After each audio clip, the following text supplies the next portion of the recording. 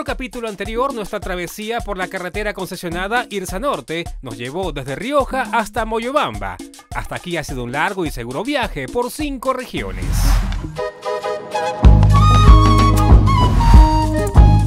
Moyobamba está solo dos horas y media de Tarapoto. Es conocida mundialmente como la ciudad de las orquídeas. ¿Y cómo no serlo? Moyobamba es considerado como ciudad de las orquídeas por la mayor concentración de especies registradas en sus zonas. Una carretera en buen estado que conecte esta localidad con el eje turístico de la región San Martín es clave para que también florezcan sus negocios y emprendimientos. Por ejemplo, allí tenemos los zapatitos de la reina.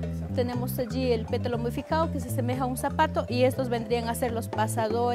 Acá tenemos otra especie perteneciente al mismo género, el zapatito del niño. Acá uno más pequeñito, los zapatitos del bebé. Es el caso del orquidiario, donde se exhiben 500 variedades de esta cotizada y bella flor. Bueno, en realidad es muy importante, es muy interesante contar con eso porque si no hubiese una buena vía, ¿no? ¿Cómo llegarían acá? Entonces hubiese más riesgo, más peligro.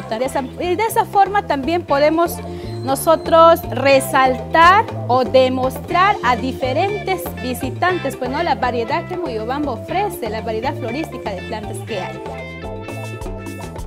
Dejamos Moyobamba y su fiesta emprendemos nuestra ruta a Tarapoto.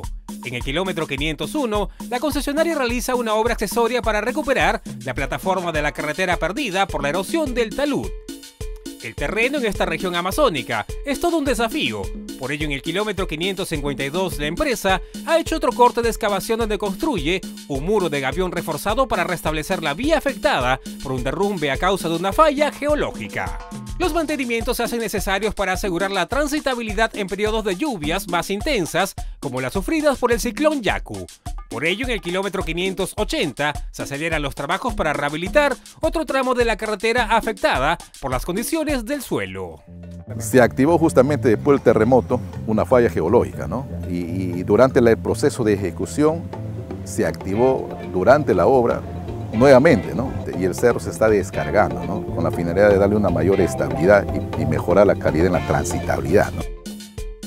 Ejecutar ahora estas obras provisionales también es vital para el negocio de pequeños y grandes productores de San Martín. Es el caso de la chocolatería La Orquídea de Tarapoto, que necesita tener buena comunicación con las comunidades que la proveen de insumos para elaborar sus distintos productos. Bueno, la carretera a nosotros nos beneficia de una manera, nos facilita más que todo en el tema logístico, en el proceso de transporte, ya que nosotros acopiamos a las demás chacras, a las demás este, eh, cooperativas de, cacao, en la cual nosotros este, compramos. También nos dedicamos al rubro lo que es turistas. El impacto de una carretera bien mantenida como la Irsa Norte, conocida también como Fernando Belaunde, es fundamental para negocios como restaurantes que reciben turistas nacionales y extranjeros. Bienvenidos al restaurante La Patayashka en Tarapoto, donde somos especialistas en comida típica regional.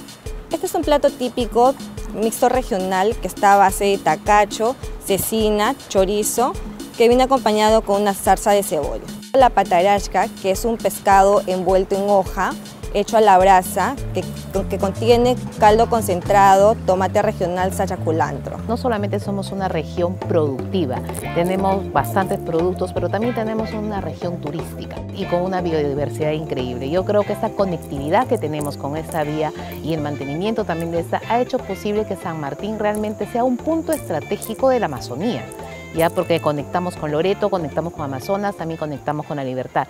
Nuestro siguiente y último destino es la ciudad de Yurimaguas, en la región Loreto. En este tramo la concesión redujo el tiempo de viaje en poco más de una hora.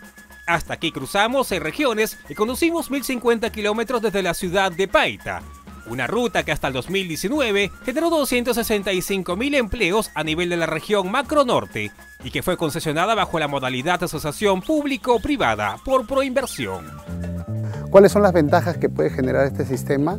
Que siempre podamos contar con una carretera que se respete los niveles de servicio, tanto el índice de rugosidad, este, la debida señalización y estas mejoras de alguna manera genera un beneficio directo e indirecto en el usuario. Lo otro importante que se puede destacar es el crecimiento económico que ha tenido no solo la zona de Tarapoto y Moyobamba, sino todo el circuito del tramo de la concesión en sí de Irsa Norte.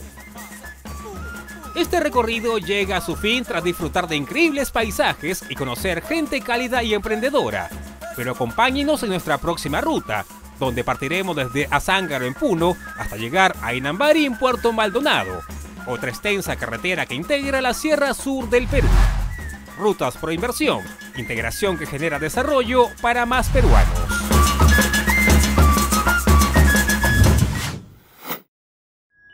Bicentenario del Perú 2024. Gobierno del Perú.